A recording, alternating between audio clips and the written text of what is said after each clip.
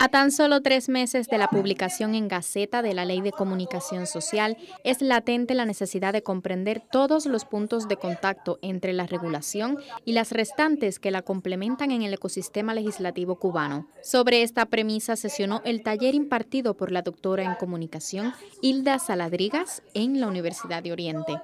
Ella nos ofrece muchas herramientas de cómo ir entendiendo la ley, de cómo seguir aplicando la articulación de los tres ámbitos que tiene la ley, el mediático, el organizacional y el comunitario, además de los dos reglamentos, el de publicidad y patrocinio y el reglamento específico de la ley de comunicación social. Sobre los conceptos claves en torno a la comunicación en Cuba y los antecedentes legales y prácticos, conversaron profesionales, profesores y estudiantes.